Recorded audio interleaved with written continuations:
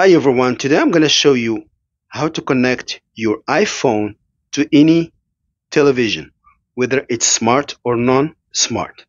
We're going to use a lightning to HDMI adapter.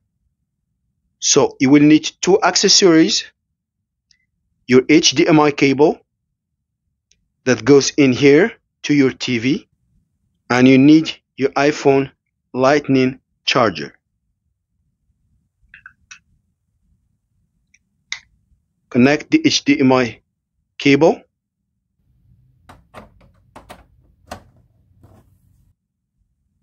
and your iPhone charger.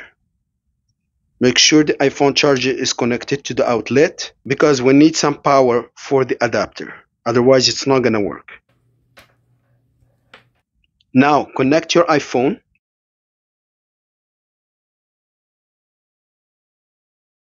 Once everything is connected, use your TV remote and look for input, HDMI or source.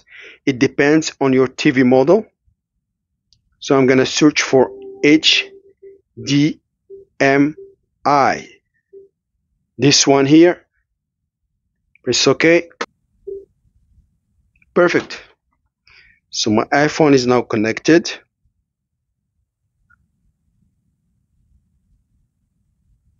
You can go to YouTube, you can view your apps, you can go to photos. So that's how to connect your iPhone to your TV. Please subscribe if it's the first time you're watching my videos. See you in the next one.